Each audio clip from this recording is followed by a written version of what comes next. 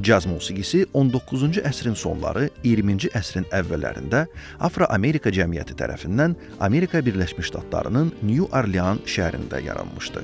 Tezliklə dünyanın hər bir yerinə yayılmış və ən populyar musiqi janrlarından birinə çevrilmişdi.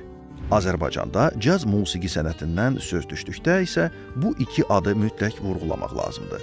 Vaqif və Əzizə Mustafazadələr. Vaqif Mustafazadə 1940-cı ildə Bakıda anadan olmuş, 1979-cu ildə isə Daşkənddə vəfat etmişdi. Musiqi tariximizə bəstəkar, pianoçu, caz muğam üslubunun banisi kimi düşmüşdü.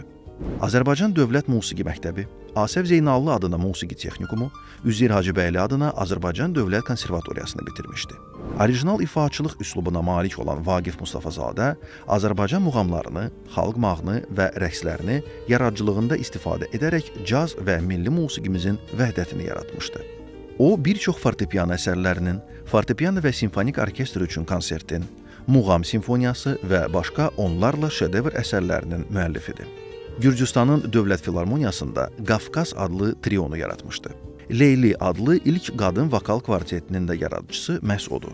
1971-ci ildən 1977-ci ilə kimi Sevil vokal instrumental qrupuna başçılıq etmişdi.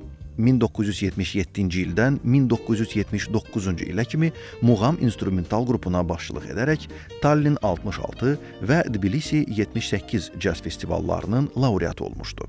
1978-ci ildə Monakoda keçirilən 8-ci Beynəlxalq Caz Festivalında Əzizəni gözləyirəm musiqisinə görə birincilik mükafatı almışdı. 1979-cu ildə Azərbaycanın əməkdar artisti adına, 1982-ci ildə ölümündən sonra Azərbaycan dövlət mükafatına layiq görülmüşdü. 1969-cu ildə Vaqif Mustafazadənin və həyat yoldaşı Elza Mustafazadənin bir qızları dünyaya gəlir. Bu hal-hazırda dünya şöhrətli musiqiçi olan Əzizə Mustafazadədir. Bəstəkar, pianoçu və caz ifaçısı olan Əzizə Mustafazadə də atası kimi yaradıcılığında caz muğam janrına geniş yer ayırmışdı. 17 yaşında Vaşinqtonda Thelonious Monk adına piano müsabiqəsində birincilik almağında caz muğam musiqisi çox böyük rol oynamışdı. Elə bu illərdə anası ilə Almaniyaya köçmüş və burada yaradıcılığını davam etdirmişdi. 10 musiqi albomu işıq üzü görmüşdü. Bu albomlarından biri Cəziza adlanır ki, həmin bu ad musiqiçiyə atasının verdiyi ləqəb olmuşdu. Əzizə Mustafazadə bir çox əsərlərini atasına həsr etmişdi. 2007-ci ildə Bakı Caz Festivalı üçün Azərbaycana qayıtmış, Azərbaycan Dövlət Akademik Opera və Balet Teatrında konsert vermişdi. Həmçinin festivalın sonunda açıq hava altında Yaşıl teatrdakı konsertdə giriş ifasını yerinə yetirmişdi. Həmin konsertdə Şamans mahnısının çox möhtəşəm bir ifasını nümayiş etdirmişdi.